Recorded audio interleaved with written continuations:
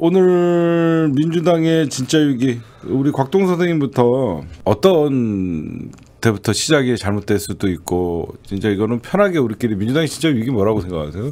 본인들만 오늘의 제목은 뭐 본인들만 모르는 것이라고 생각했는데 노정현 선배님도 민주당 어떻게 다 이, 이, 이 지경이 됐나 이거 제가- 물론 우리가 대선 지고 나서 네. 여러분들이 뭐 민주당 깔 시간에 뭐 만약에 그 윤석열 까다 그걸 떠나서 윤석열은 늘 까고 아니 있습니다. 굉장히 기분 중요한 나빠. 시기니까 지금 일주일 동안은 우리가 좀좀 생각 좀 해보고. 예, 어차피 윤석열과는 오래 싸워야 되는데 민주당 이 의총 분위기나 이런 거 보면 이해할 수 없는 발언들이 나오고 이해할 수 없는 행동들이 나오잖아요.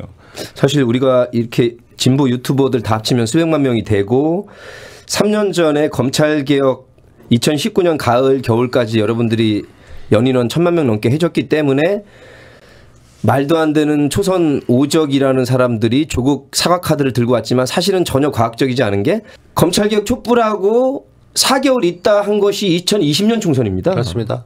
그때 민주당이 생긴 일에 단군 일에 처음으로 어, 무소속까지 합치면 190석 가까이 몰아줬습니다. 그죠? 그러니까 전혀 말이 안 되는 거죠. 초선 오적의 분석은. 그거는 뭐냐면 우리 국민들이 그동안 하도 뭐 150석 약간 넘어서 개혁을 못하니 하도 쪽수 타령하길래 처음으로 한번 시원하게 한번 밀어줄 테니까 니들이 쪽수 때문에 못했다는 거 다 해봐라라고 밀어줬는데 2년 동안 이렇게 된 겁니다. 그러는데 문제는 뭐냐면 그 전에 SNS나 유튜브가 활성화 안 됐을 때는 이 지역구 의원들이 압도적으로 많거든요. 우리가 이렇게 비평을 해도 별로 상관이 없었어요. 지역에 가서 저녁 때 술 먹고 동네 유지들 호적 관리하고 자기들 지역 관리하면 이 사람들 원래 대통령이 뜻이 없는 사람들이라 4선, 5선, 6선에서 국회의장 하는 게 꿈이야. 맞습니다. 애초에 자기 그릇을 나기 때문에. 근데 지금 시대가 바뀌었어요. 2년, 3년 동안에. 왜? 우리가 지금 문자 행동으로 이렇게 조지면서 아, 지역구만 관리해서는 안 되겠다는 것이 지금 드러났고 우리가 만약에 2년 후에 총선이 있어서 2000년 총선 낙선 운동이 사실 성공했습니다. 그때. 그때는 시민 운동이 중심으로 됐잖아요. 이제는 우리 국민들이 이 SNS, 페이스북, 트위터, 유튜브로 이번에 이 어, 개혁에 미, 미온적이었던 사람들 절대로 금배지 못 달도록 날려버릴 거예요. 시대가 변했다는 걸 알고 지금 말한 대로 위기가 왔습니다. 지금 미적거리는 의원들. 자기 지역구 관리해서 어떻게 되겠지? 저것들 떠들어봤자 소용없겠지? 아니에요. 분명히 경고합니다. 개청스님이 물어보셨던 민주당의 위기 위기인지 모르는 거라고 얘기하는데 저는 어, 늘 주목해야 될 것은 중심에 보이는 게 아니라고 얘기합니다. 음식점이 잘 안 된다 하게 되면 메뉴의 문제일 수도 있고 또 대부분 장사는 위치가 제일 중요하잖아요. 위치가 잘 안 됐을 수도 있습니다. 근데 어떤 데서 잘 되던 데가 갑자기 잘 안 된다면 고객들 훑어보면 나옵니다. 고객이 어떻게 왔다 갔다 하는지 예전에 책을 좋은 잘 팔리는 책을 쓰고 싶다는 친구에게 네 생각만 하지 말고 나가서 그 매대에 사람들이 어떤 책을 들었다가 사가는지 들었다 놓는지 한번 그게 검토해보고 소유자 중심, 고객 중심 맞습니다. 사고죠. 네. 민주당에서 위쪽은 빼놓고 사람들이 잘 신경 쓰지 않는 당원 입장에서 민주당의 흐름을 살펴보면 이게 굉장히 재밌습니다. 좀 다르게 되면 박근혜 탄핵 이후에 시민들이 더없이 문재인 대통령을 밀어줬습니다. 그래서 당선이 됐죠. 몇 번의 선거에서 계속 민주당이 압승을 했습니다. 네 번 몰아줬잖아요. 그 결과의 끝에는 국회의원 180석이라는 것도 있었습니다. 할 만큼 해줬다는 얘기죠. 네. 그 과정에 시민들이 거리에 낮춰서 이 개총수님과 개국본과 함께 조국 수호를 외치면서 검찰 개혁을 집어넣었었습니다. 이 기간이 한 2년에서 3년 되는 동안 사람들은 진짜 온 힘을 쏟아 부었어요. 그게 지금의 3, 4, 50대들 기존의 민주당을 지지하던 세력들은 모든 걸 다 했는데 이번에 졌습니다. 신승이라고 할 만큼 우리가 안타깝게 몇 표를 더 모으지 못해서 졌다라고 얘기할 수 있지만 이 졌다는 사실은 변하지 않습니다. 피로감이 극심하죠. 예. 그러다 보니까 이제까지 했던 내 모든 노력 돌려도 너희들 뭐 하는 놈들이야? 왜 니들끼리 싸우고 있어라는 그런 마음이 나는 거 충분히 이해됩니다. 만약에 이 시기를 놓친다면 민주당은 그냥 몰락할 수밖에 없습니다. 근데 다행스럽게 20대, 30대로 대표되는 정치를 잘 모르는 새로운 당원들이 지금 거의 10몇만, 20만에 가깝게 들어오고 있다는 얘기는요. 기존의 민주당 당원 공식적으로 70만 이상 되고 80만 정도로 보게 되면 4분의 1이 새롭게 들어온 거예요.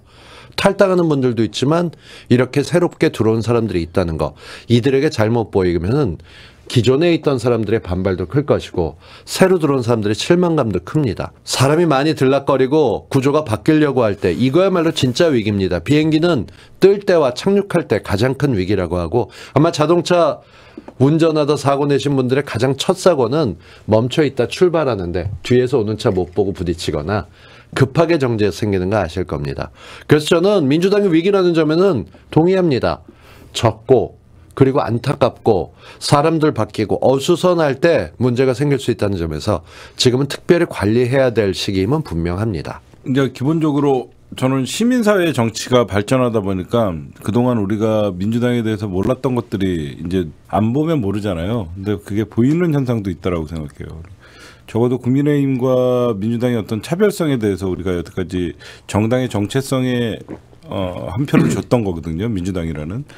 근데 그동안에는 민주당이 어떤 의원들끼리 알아서 하고 의원들끼리 회의하고 거기서 나왔던 결과들인데 그만큼 시민사회의 참여 정치가 좀 발전하다 보니까 우리가 몰랐던 부분도 많이 알게 되고 그래서 사실상 우리가 이렇게 민주당에게 개혁을 압박하고 저는 시민사회 성장에 민주당이 못 따라오는 그럼요. 네. 그게 가장 큰 요인이 아닌가 좀 저는 좀 그렇게 생각을 해요. 그래서 어 우리 시민사회들은 지금 현 현재 상황을 위기라고 생각하는데 민주당은 그냥 정권 뺏기면 그냥 이렇게 가는 거야. 그냥 뻔한 기존에 있던 정치 패턴. 당연한 거예요. 음. 기억하시겠지만 서태지가 네. 예전에 노래를 들고 나왔을 때 MBC에서 내노라는 그 당시에 작곡가와 음악 비즈니스 있는 사람들이 모두 다 예. 60점대 줬습니다. 아, 난 알아요. 처음에 나왔을 예. 처음 데뷔했을 때 그랬죠. 형편없다라고 얘기했어요. 저도 별로 안 좋았는데 사람들이 난리치고. 근데 처음에 듣고 괜찮다 했던 거는 제일 먼저 대중음악이었습니다. 음. 좋은 건 좋은 거예요. 그리고 대중음악계에서 쭉 나가다가 음. 그 지금 SM이니 JYP니 뭐 YG니 이렇게 얘기하는 데들이 있었는데 네. 결국 전 세계에서 사랑받고 있었던 건 BTS의 하이브입니다. 그런 거 보면 변화를 기존에 알고 있던 사람이 그 분야 전문가라는 사람들이 다 알고 있는 건 아닙니다. 그러니까 네. 저희 같은 정치 평론가도 끊임없이 다른 세상 보면서 음. 혹시 내가 뒤처지지 않을까 내가 못 보는 거 없나 확인해 봐야 되는데 음. 정치권이 그걸 제일 못 합니다. 왜냐하면 자기 지역구 사람만 잘 보이고 음. 그 조직만 잘 관리하면 선배들 있거든요. 삼선 사선 오선 하는 네. 거. 그렇게 나가니까 실력이 안 늘고 세상 돌아가는 걸 못 보는 건데 지금 시민사회가 발전했다 정확하게 맞는 말씀이에요. 이상민 의원 같은 사람한테 음. 문자 보냅니다. 예전 같았었으면 문자 보낸 번호도 몰랐죠. 그렇죠. 전화번호 자체를 몰랐죠. 근데 이젠 보내고 나면 제발 그렇게 이재명 자숙하라 자중하라 이런 소리 하지 말고 탈당하세요 그러면 당신이 나가세요 이렇게 답장이 옵니다. 그럼 예전 같으면 혼자 분노하고 끝날 일이에요. 그런 게 이젠 스샷이 돼서 커뮤니티에 올라오죠. 이런 사람이었어? 아무리 화가 나도 그렇지. 제 자리에서 최선을 다하겠습니다. 적어도 정치인은 그런 답변 보내야 되거든요. 네. 근데 이건 완전히 아나무인인 거죠. 이런 사람들하고 우리가 같이 하고 나니까 안 되겠는데 바꿔봐야겠다라는 얘기들이 올라오는 거고 아마 조만간 더 발전하면 우리가 직접 후보 뽑는 일이 생기게 될 겁니다. 당은 그것 쫓아오느라고 뒤처진 거 허덕허덕대면서 달려오겠죠. 우리 정치권에 좀 야당 생활 오래 했던 분들도 있고 여당 생활 오래 했던 분들도 뭐 오랜 정치인들 중에 있겠지만 그냥 뺏기면 야당 역할을 하면 된다. 잡으면 여당 역할을 하면 된다. 그 배지만 지키면 어, 어, 된다. 자기네 그 배지가 중요한 거지. 그 어떤 이 국민들이나 지지자들의 그런 마음이나 그런 걸 생각하지 않는 않다 보니까 괴리감이 거기서 생기고 일단은 자기 아- 자리에 안주하는 정권 넘어가면 오히려 우리는 야당으로서 더 지었고 견제 심리가 있어서 자기 배지는 달기는 더 좋지 않나 그런 생각들을 해서 개혁에 주춤하고 맞습니다. 뭐 그런 것들이 좀 민주당에 전반적으로 좀 퍼져 있는 것 같아요 보니까 원래 이렇게 제가 보면 대선을 뺏기고 그러면 민주당 중진들 중에 정계 은퇴 몇 명 나와야 돼요. 제가 그래서 뭐 송영길이나 이런 사람들 나오는 거에 대해서 비판을 했던 게 그거예요. 대선 패배하고 당 대표를 물러났는데 다시 서울시장 나온다. 나는 적어도 책임 있는 정치인들 한 5선 6선 되는 사람들 중에서 어, 정세균이 됐든 이낙연이 됐든 좀 이 사람들 책임지고 어? 이제는 후배들을 위해서 길을 좀 터줘야 되겠다 이런 거여야 되는데 아직도 개파를 형성하고 거기서 우두머리 역할을 하려고 총괄 선대 본부장을 맡았던 이낙연은 음. 사과와 함께 어저께 김민석은 엉뚱하게도 송영길한테 대국민 사과하라 얘기했다고 하지만 그 책임진 사람으로서 물러나는 게 아니라 진심 어린 사과를 해야 될 것이고 저는 거기에 덧붙여서 대장동 실체도 몰랐던 내가 부끄럽다 혼선했다 이런 얘기를 해야 되는데 그 양반은 말씀하신 딱 고인물이죠. 정권을 줄 수도 있고 받을 수도 있다. 어떻게 잡았는데 내줄 생각 부터 하고 협치해라. 원래 정치가 그런 거다 했던 사람이니까 안타깝게도 최재성 의원은 오늘 정치 뭐 은퇴라는 표현을 직접 쓰진 않았지만 문정부와 함께 일했던. 걸 네. 예, 은퇴하겠다고 얘기하면서 20년간의 뭐 정치 생활을 정치 생활을 마감하겠다니까 뭐가 됐건 마감하는 사람들이 나와줘야 된다고 생각하고요. 저는 과감하게 지금도 남은 의정 생활 다 하겠다라고 얘기했던 게 아니라 은퇴하실 분들 은퇴하셔야 됩니다.